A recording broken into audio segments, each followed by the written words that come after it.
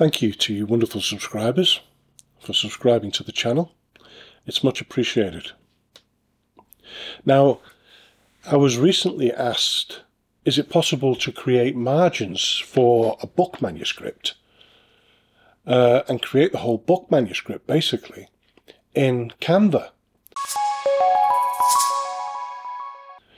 Now, the reason they asked that was because um, there's so many more things you can use. When you're trying to format something in Word and you're trying to do this all yourself, work, setting out the margins can be difficult in itself unless you use a template or another program, even, even Google Documents or something else. If you try to create the actual manuscript, it can be tough going. But in Canva, if you could set up the margins so you've got your outside and your inside or gutter margin um, correctly, then and they alternate all the way through, then you can fill them in. You can fill all that space in, in between, with text how how you like through Canva. It's easy. Um, elements, all kinds of things. It would be a lot easier to do in Canva to fill it in and to get the styling right, the numbering right, and everything else than it would be to do that in, say, Word and it's more of a, uh, a drag and drop kind of situation. So what I've done here is I've created two videos. The first video is the quick version and it's basically uh, the margins. What we're going to do here is we're going to set out margins top bottom, um, header footer, um, left and right or outside and gutter margins in Canva. In the longer version of this video we actually go into putting text in, putting the num page numbering in, putting the chapter uh, headings in, and things like that. Um, so it's more in depth. So if you just want to know how to put the margins in, this is the one for you. Um, I'll also try to leave some templates for these uh, videos. So you can click on the templates for Canva if you've got a Canva, Canva um, account, whether that's free or uh, premium.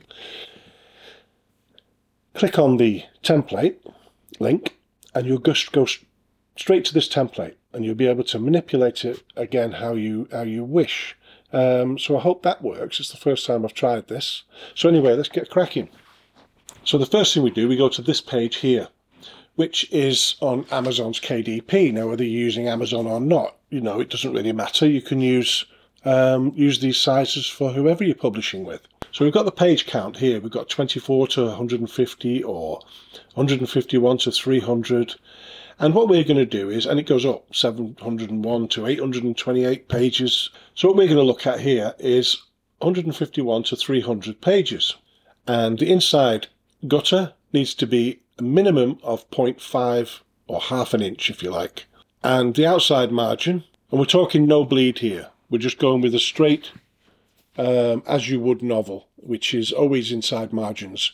Um, you, you rarely get them where there's a full page uh, image, um, edge to edge. Everything's usually within the margins, and that's what we're looking at here. Just a standard manuscript. Outside margin, no bleed, 0.25 or a quarter of an inch, if you like. What we'll do is we'll go to Canva, we custom size, and I'm going with a 5 inch by 8 inch, 5 inch width eight inch high. That's a pretty, a pretty standard sort of size book for a novel. I'm just going with five by eight here as an example. We go to elements. We pick a square. We move it to the edge. We drag it up and down. Then we bring it in. Now the first page of a book is the right hand side. This is the page. And it opens up on the right hand side.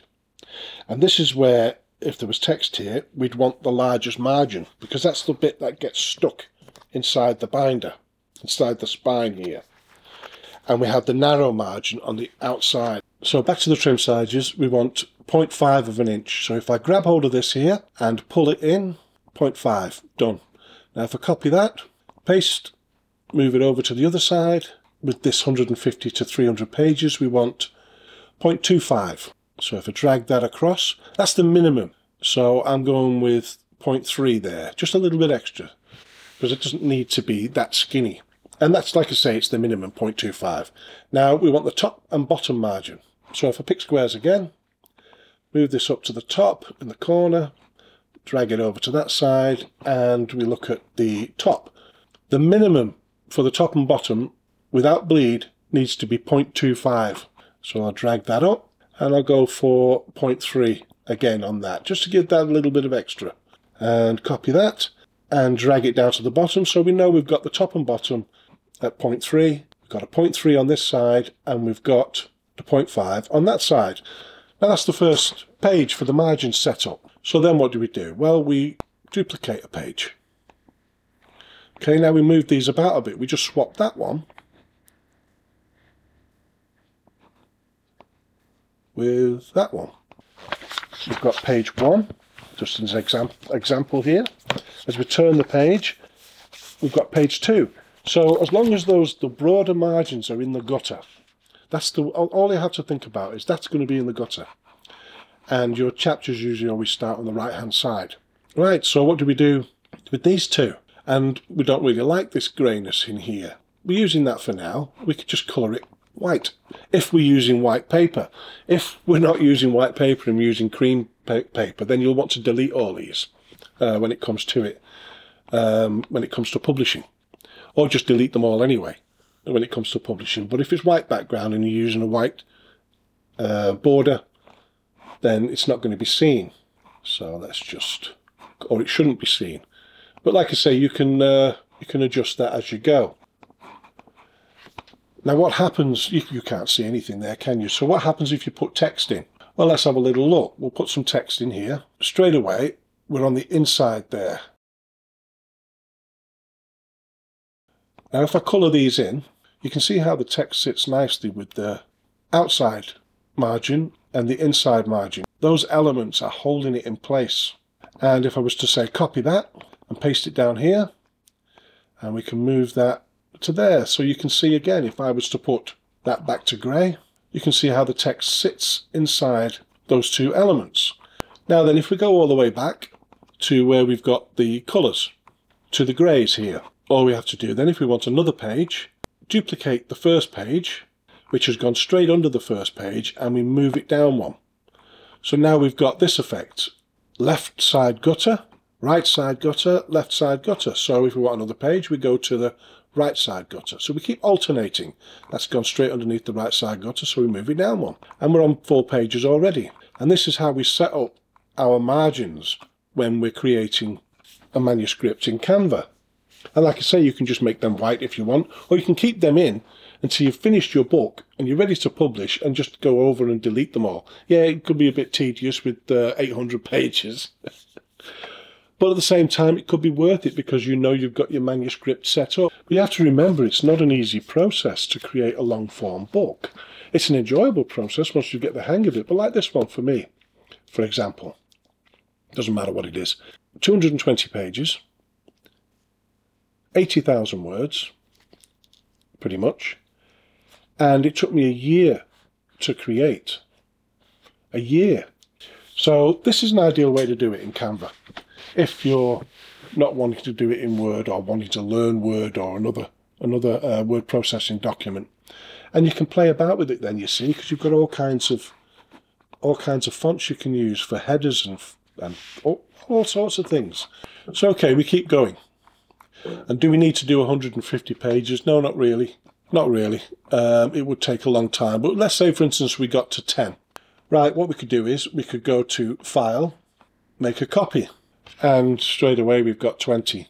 We could keep doing that, you know. So ideally, you get to about 50, and then you'd make another copy, and then you'd fill them in once you've got your manuscript complete. Um, and I mean, complete. You know, there's no room for errors to go over and over these things. We've got that pretty much sussed out. And like I say, there's a longer version which shows you how to put the chapter headings in, the words, the numbers, everything else. But this is just to show you how you can do the margins, the gutter margins, the outside margins, using the measurements from Amazon and using Canva. And if you want to join them together, all you do is you take these files that you've saved, you've saved them. So you save them as PDF prints when they're complete, when you've got a chapter or two in them and everything's finished, and you've got rid of your outside borders, then download them as a PDF print. So when you get all your files together, then you just go to, I recommend PDF Joiner. It's free, completely free. And all you do is you upload files, you put them here, and you join them. And you've joined the files together. You know, so it's really, it really is quite simple once you get the hang of it. But this was all about just, can you put the margins in? And yes, you can. You can't sort of guesswork. You need to use the right size. So if you had up to 500 pages, you would need to change it. Up to 700 pages, change it again. But all the measurements are here, and there's a link for the description. So that's it. If you need some more information, you can look at the other video, and here's a link for that.